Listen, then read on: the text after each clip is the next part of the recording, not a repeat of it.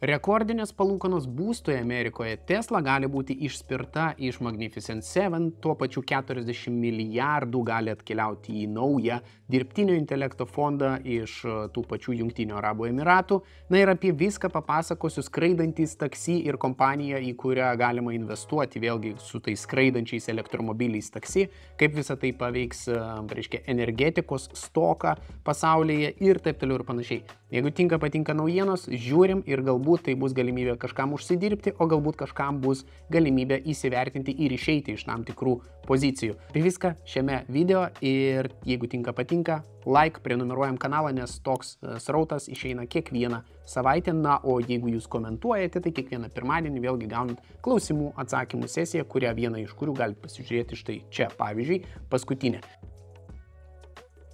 Gerai, važiuojam prie pagrindinių naujienų ir Fedas, tai yra federalinis rezervas, paliko Centrinio banko palūkanas tokiomis pat, tai reiškia nei didino, nei mažino, tai paliko tame pačiame lygyje. Ir tai palieka langą nu, dar trim potencialiem mažinimam šiais metais, tai yra birželį, rugsėjį ir gruodį grubiai, tai va, bet realiai realių mažinimų tikriausiai galėtų būti tik tai du, kuriuos mes galėtume pajusti, nes jeigu Fedas sumažina palūkanas, na tai natūralu pas mus į Europą tas atkeliauja kažkur su trijų, trijų mėnesių pusės metų uždėlsimu. Bet Kur yra problema, tai kad apskritai palūkanos JAV būstų, ypač tiem, kas ėmė, pavyzdžiui, tai arba ima tą fixed rate mortgage, tai yra E, fiksuoto pajamingumo, sakykime, būsto kreditai, tai jeigu anksčiau buvo galima pasimti ten su 3 procentais ir taip toliau, tai šiai dienai jie muša visus rekordus ir gali siekti net 7,5 procento. Tai, žodžiu, idėja yra tokia, kad šiai dienai 6,98 procento už 30 metų paskolą. Ir tai yra fiksuotos palūkanos, tai nėra sviruojančios. Dabar pabrėšiu, kad Amerikoje įtin populiarios yra fiksuotos palūkanos, dėl tos priežasties, kad tu pasiemi paskolą ir tu labai aiškiai žinai savo įmokas ir kad jos nesikeis. Pas mus tai yra euriborai, taip toliau panašiai. Bet Kur yra, sakykime, problema šitoje vietoje, tai kad jeigu anksčiau, sakykime, žmonės galėjo įpirkti būstą už, vėlgi, tą patį ten 600 tūkstančių baksų, pavyzdžiui, namas kainuoja, Tai įsivaizduokim, jie mokėdavo po 3 procentus nuo 600 tūkstančių per metus. Tai reiškia, tai yra 18 tūkstančių palūkanų per metus. Jeigu mes kalbam apie tokį variantą, tai mes turime padauginti šitą dalyką, tai 36 tūkstančiai per metus.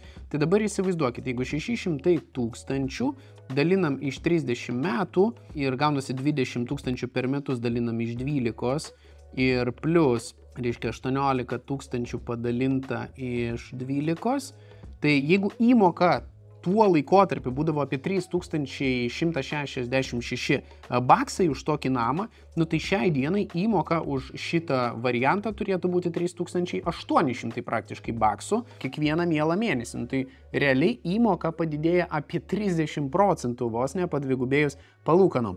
Tai yra milžiniškas, milžiniškas dalykas, nes viskas Amerikoje sukabinta ant paskolų. Ir, na, ir ES irgi labai didelė dalis sukabinta ant paskolų. Tik tiek, kad ES viskas yra, e, sakykime, nu, kažkiek eina kart, kartu su palūkanomis, o ten, jeigu jau perki ir fiksuojasi, nu, tai fiksuojasi iki, reiškia, laimingos pabaigos.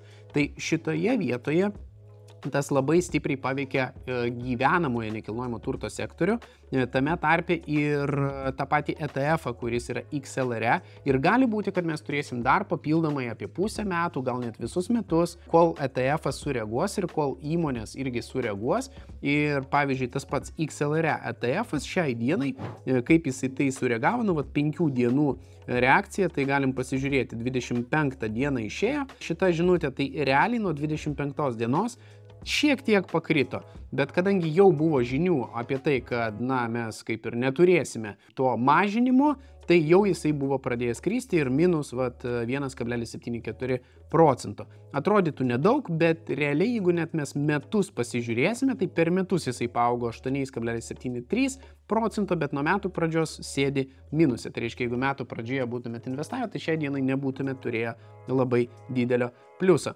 Ir kaip aš ir kalbėjau, galit pasižiūrėti video apie tai, kodėl investavimas į nekilnojamo turto fondus, ypač šituo laikotarpiu, kai mes lyg ir turėtume pirkinėti dipą, na bent jau pagal tai, kaip matosi dabar šiai dienai, mes realiai jį galime supirkinėti už grubiai COVID laikų kainas, Ir tikėtina, kad kai palūkanos pradės mažėti, nuo investuotojų nuotaikos pagerės ir tai gali būti ypatingai gera investicinė galimybė, tačiau reikia turėti drąsos pirkti jį štai čia. Žinoma, tai yra ne investavimo rekomendacija, tai yra tiesiog mano nuomonė, bet aš ir pats savo pirkinį paskutinį, apie kurį galite pasižiūrėti Financial Finance kanale, tiesiog nusipirkau už 20 tūkstančių susvertų nekilnojamo turto fondo.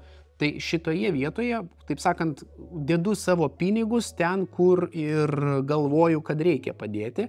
Ir šitoje vietoje vėlgi tai yra rizikingas įėjimas, bet jeigu norit kažkiek gali tikrai skirti šitam fondui, jis vadinasi XLRE, savo dividendiniam portfeliui aš naudoju tą patį Freedom 24, kaip jūs jau žinot, jums reikėtų ateiti prie JAV vertybinių popierių biržos, pasirinkti fondai, susivesti XLRE ir šitoje vietoje pasirinkti, kiek jūs norėtumėt galbūt įsigyti jo pas save į krepšelį.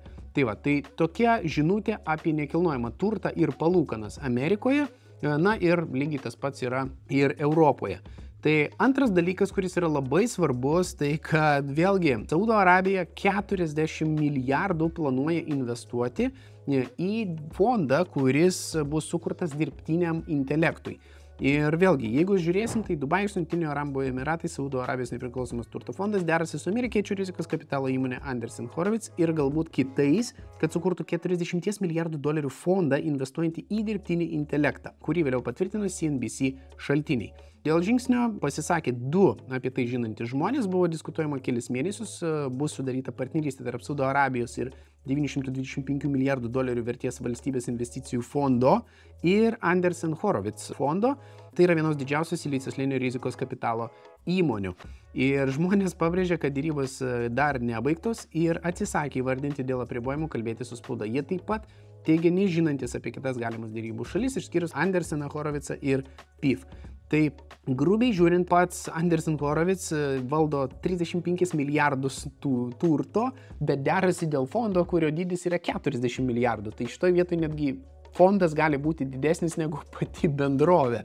Tai e, realiai tai yra neįtikėtini dalykai, bet jie rėmė jau sėkmingai Airbnb, Coinbase tą patį, Facebooką, Slacką, E, savo portfelyje turi beveik šimtą su AI susijusių startuolių. Tai kitaip tariant, tai yra pakankamai didelis fondas, žinantis, ką jis daro.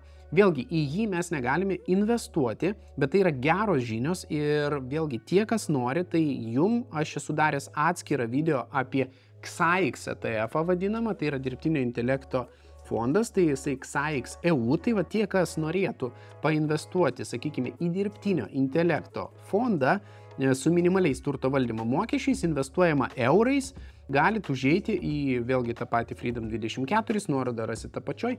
Tiesa, šitas fondas randamas per visus brokerius, tai valio galite nusipirkti ir per savo brokerį ir realiai 116 eurų už vieną fondo vienetą. Nuo to laiko, kai aš pats padariau video apie jį, tai jisai pakilo apie 10-12 procentų šiai dienai ir tai buvo prieš mėnesį, na tai jo, dirbtinis intelektas važiuoja ir, nu, panašu, kad tai nieko nestebina šitoje vietoje. Gerai, toliau važiuojam. Apple vėl gavo teisminius procesus, tik tai šį kartą JAV pati nu, šalis apskundė ir padavė į teismą Apple kompaniją.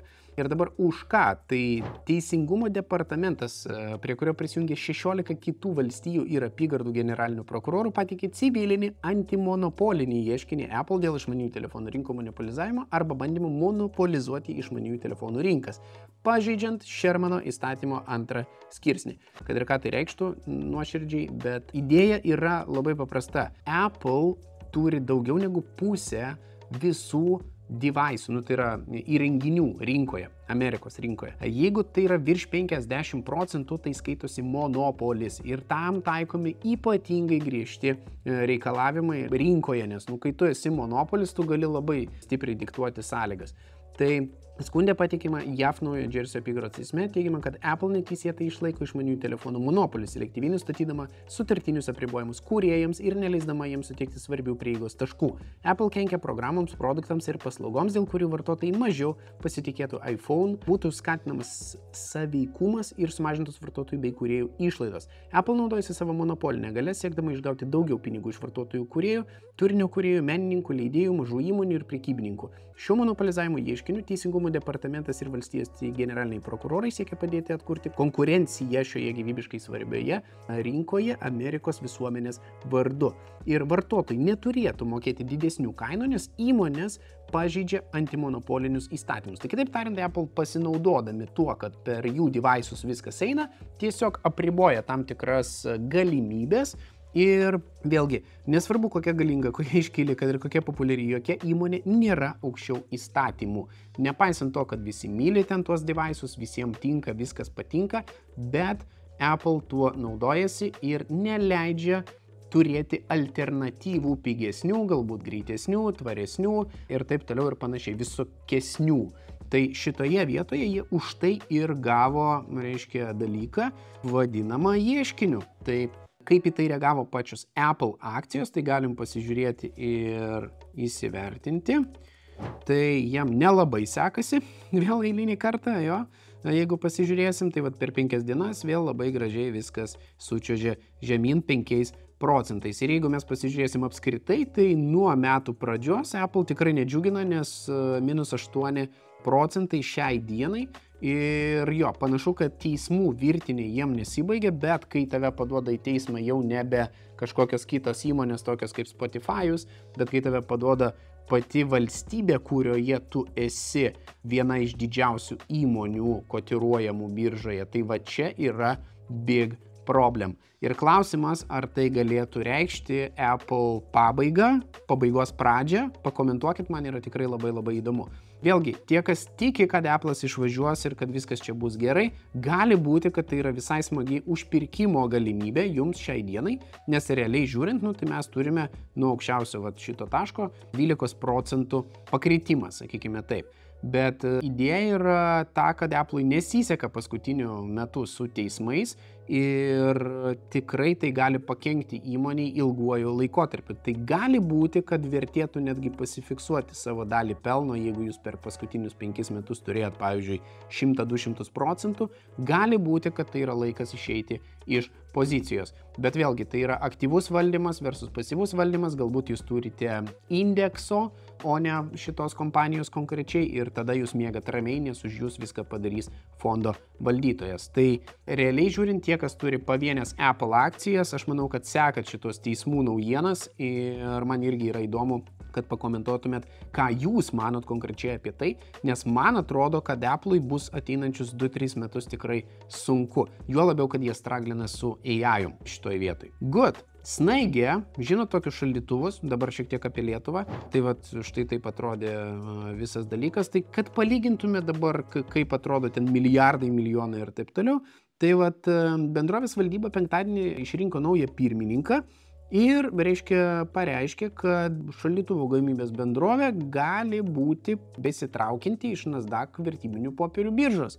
Tai jo, Vilniuje irgi yra Nasdaq birža, tai realiai tai yra vienintelė šaldytuvus gaminanti bendrovė Lietuvoje, tai jeigu jūs esate akcininkai, tai irgi man įdomu, kas iš jūsų Baltijos biržą žiūri, prižiūri, investuoja ir, ir domisi, tai va šiek tiek naujienų jum, bet dabar žiūrėkit, Bendrovė Easy Debt Service kontroliuojama įmonė EDS Invest 3 už 500 tūkstančių eurų, tai yra mažiau negu milijonas, tai yra pusė milijono eurų. Įsigijo kontrolinį snaigės akcijų paketą iš Kipro bendrovės Sekenora Holdings. Didžiausias snaigės kreditoriai įsigijo 36 milijonus vienetų paprastųjų bendrovės akcijų, už kiekvieną iš jų sumokėdama po vieną centą. Wow. Šiuo metu EDS Invest 3 valdo 91,33 procentų snaigės akcijų paketą. Tai Įsivaizduokit, pusę milijono, o ten mes kalbam apie Trump 5 milijardus, 40 milijardų, tai kad suvokt 1 milijardas yra 1000 milijonų, čia yra pusė milijono ir tai yra 91,33 procento įmonės. Tai kad palygintume dvi biržas šiek tiek, Tai čia buvo tiesiog toks off topicas, tai vėlgi, jeigu tiko, patiko, kad pakalbėjau apie Baltijos biržą, spaudžiam like ir galbūt mes padarysime daugiau video šitą temą. Nu, o dabar keliaujam prie skraidančių taksi, elektrinių skraidančių taksi. Tai kompanija, kuri vadinasi Archer Aviation, jie pasirašė su NASA, kad galėtų testuoti, um, reiškia, naujas baterijų celės. Ir dabar kokios tai baterijų celės, tai jos bus skirtos va štai šitiem va agregatam, nes Archer Aviation jau yra paleidę štai šituos dalykus į gamybą ir planuoja 2024-2025 metais jau skraidinti pirmuosius žmonės. Tai šitas daiktas turėtų teorinėme lygmenyje nuskristi tarp 20-50 mylių į vieną pusę, kilometrais tai gautųsi apie 30-80 km į vieną pusę, nuskristi, 10 minučių pasikrauti ir grįžti atgal. Tai Nežinau, kam visa tai yra adresuota, tai yra tikriausiai super wealthy žmonės, bet gali būti, kad pakeis sraigtasparnius ateityje, štai tokie va dalykai, bet svarbus momentas, tai kad tai yra elektra varomas dalykas, tarsi, jūs įsivaizduokit šitą agregatą, reikia pakelti nuo žemės, tarsi, kiek varikliai sunaudoja elektros energijos. Aš neįsivaizduoju technologijų, kuriomis visa tai pagaminta, Bet dabar pati įmonė Archer Aviation, vėlgi, jinai yra kotiruojama biržoje ir mes galime ateiti ir per JAV vertybinių popierių biržą prie akcijų susirasti Archer. Jinai kainuoja 4 dolerius 83 centus. Pakankamai nauja bendrovė ir šitoje vietoje tikrai tai, kad jie su NASA pasirašė sutartį, daug žada dalykų ir gali būti, kad mes turėsime visiškai proveržį didžiulį konkrečiai baterijų gamyboje, nes baterijos nu, skraidantiem daiktam tai nėra baterijos važinėjantiem daiktam. Ir šitoje vietoje tai yra tikrai tikrai labai didelis žingsnis, kad jau yra atsiradę nuskraidantis pilnaverčiai, jūs patys matėte, kaip atrodo šitas agregatas. Ir dabar va, aš jums dar parodysiu, kaip jis atrodo, tai galim pasižiūrėti štai šitą video.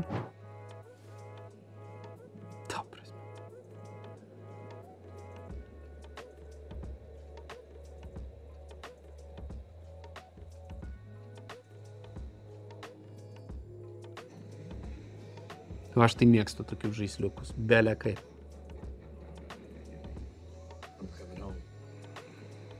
Nu va, ir varai po darbą namo. Tiesiog. Va. Tai ne reklama, bet, nu, ta prasme, šitas daiktas realus, kaip pasirodys, tai wow, tarsi, jeigu tai bus ateities taksi, amin, aš esu už ateitį. Gerai, važiuojam toliau.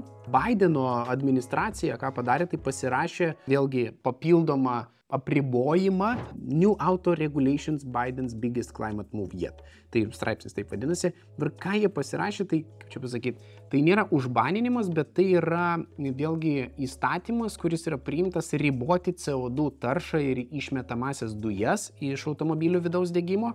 E, ir gali būti, kad mes turime plius minus 3 metus pasijuokti iš to draugo, kuris vairuoja Priusą. Ir gali būti, kad Boltas, e, na, šitoje vietoje, nu, pas mus, vat, kas vežioja visus, tai gali būti, kad pereis nebe į Priusus jau.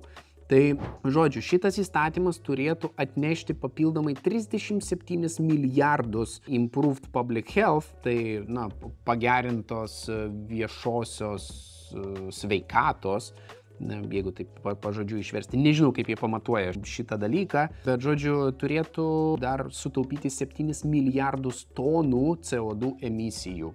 Tai bus matyti kaip, bet tai reiškia, kad ateityje tikriausiai elektromobiliai visgi bus pušinami vis labiau ir labiau ir jų kainos priverstinai turės mažėti, mažėti, mažėti, na, o naujosios baterijos ir celės turėtų būti vis efektyvesnės ir gali būti, kad mes turėsime ne tik važinėčius elektrinius daiktus, bet ir skraidančius elektrinius daiktus, kas yra kosmosas. Ir gali būti vėlgi, kad tai yra visai fainas variantas užsipirkti šiai dienai elektromobilių kompanijų, kurios vėlgi, jeigu pasižiūrėsim, yra labai stipriai pakritusios ir Tesla gali būti pašalinta iš Magnificent 7. Kodėl? Dėl to, kad jinai neperformina, ypač paskutinius metus ir nuo metų pradžios. Nuo metų pradžios jinai minus 28,5, o Magnificent 7 mes žinom, kad tai yra septynios kompanijos, kurios uždirba nu, daugiausia, sakykime, per metus procentaliai nu, kyla, sakykime taip, S&P 500, tai ir kurios tempia visą S&P 500 į viršų. Tai Tesla gali būti, kad praras šitą visą variantą, nes jinai neperformina šiai dienai ir gali būti, kad vėlgi tai yra visai neblogas uh, užėjimo taškas mums šiai dienai nes akcija kainuoja 179 dolerius, nuo metų pradžios, kaip matom, 2,8 beveik procentai žemyn, per metus minus 6 procentai, per penkerius metus, žinoma, visai neblogai, 863 procentai. Bet realiai nuo, vat, sakykime, tų pačių 2021 metų nuo piko, jeigu mes paimtume, tai tie, kas pirko šiai dienai, turėtų sėdėti 55 procentų nuostolyje nerealizuotami. Jeigu būtų pardavę 23 metų lapkritį, tai šitoje vietoje būtų turėję 72 procentų nuostolį, kas tikrai neturėtų džiuginti. Bet jeigu pirko prie dugno, tai net prie dabartinio kritimo turėtų 58 procentų pliusą. Tai šitoje vietoje vėlgi nereikėtų nuvertinti blogų kažkokių tai žinių.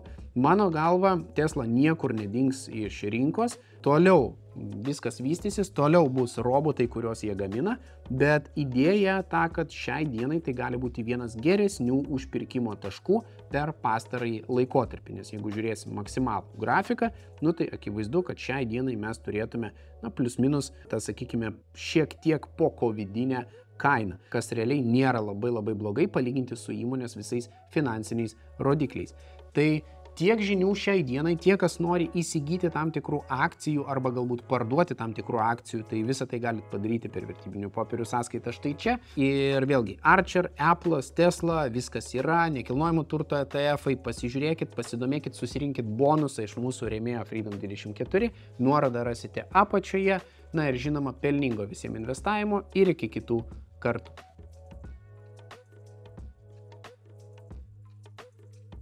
Jie elektromo... O į